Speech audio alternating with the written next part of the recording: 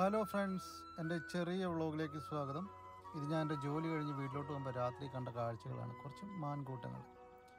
അപ്പോൾ ഒന്ന് റെക്കോർഡ് ചെയ്യാൻ തോന്നി. ഇത് ഷിക്കാഗോയിലാണിത്. അപ്പോൾ എന്റെ കുട്ടി വ്ളോഗ് ഇഷ്ടമായെങ്കിൽ എല്ലാവരും ലൈക്ക് ചെയ്യുക ഷെയർ ചെയ്യുക സബ്സ്ക്രൈബ് ചെയ്യാനും മറക്കരുത് ഓക്കെ